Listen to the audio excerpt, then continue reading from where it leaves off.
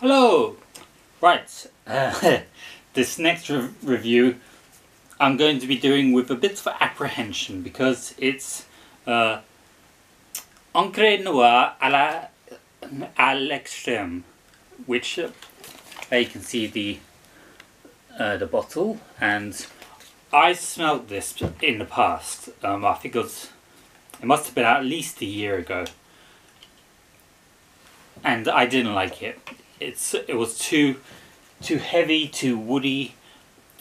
It was too in your face. So I don't know. Maybe my nose has matured in a year, but I doubt it. But anyway, for the record.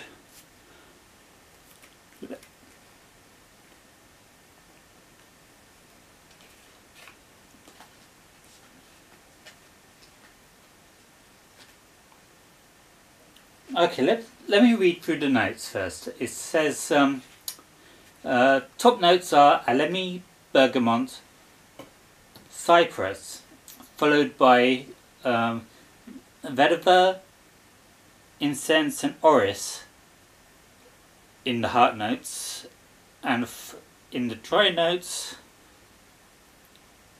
benzoin, uh, siam, sandalwood and patchouli.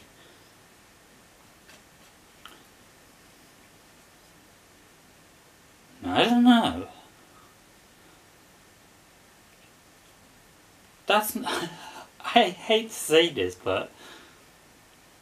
That's quite nice. It's... It's... It, uh, it's not too bold, which... I'm very worried about all the time. It's a very... It's an adventurous fragrance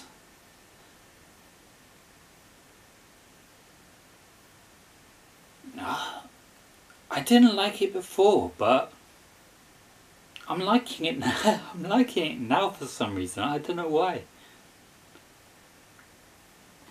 But yeah, it's called um, Encre Noire à l'extrême. But it's it's not extreme, that's for sure. It's it's not the sort of thing that would put me off if I was trapped next to somebody on the on the London tube.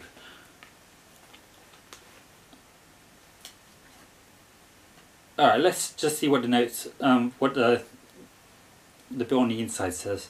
It says, uh, Encre Noire um, à l'extrême um, redefines masculine uh, sensuality with a powerful blend of cypress and vetiver a new woody intensity of a unique, unforgettable trail.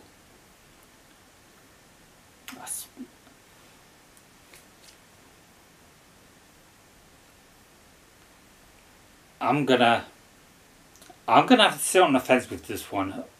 I didn't like it before, but in one year, I don't know how much a nose can mature, but I'm I'm not disliking it now.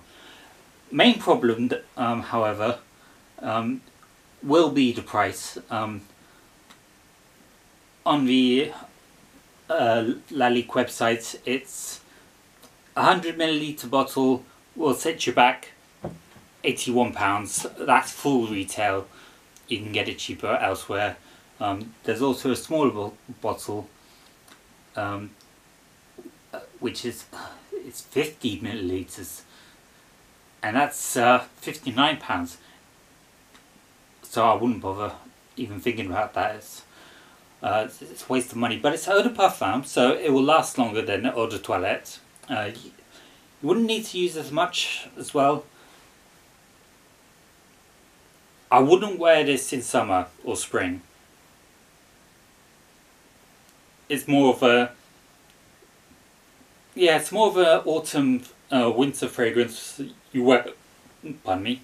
Uh, you wear when sitting around a campfire or in front of a, a wood burning stove. But um, that's actually surprised me. Uh, I was expecting something, uh, something to run up my nose and uh, start pulling at my uh, nasal hairs, but it's not. I'm gonna have to think about that one. I'm not, I'm not gonna rush out and buy it. And I know there's um, there was some hype about um, the prequel to this, uh, uh, which was uh, Encre Noire, and I haven't got samples of that. But yeah, yeah, it's, it's okay. Well, that's my opinion anyway. So go out, give it a try.